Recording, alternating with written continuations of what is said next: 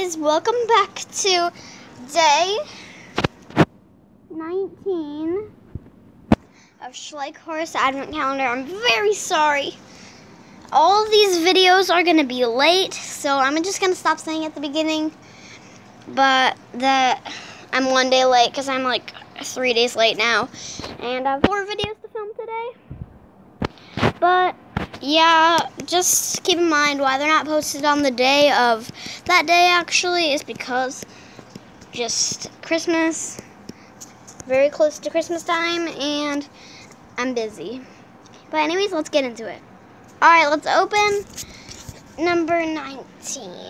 Okay, sorry guys, you can't really see too well. Okay. Oh, this is really cute, everybody.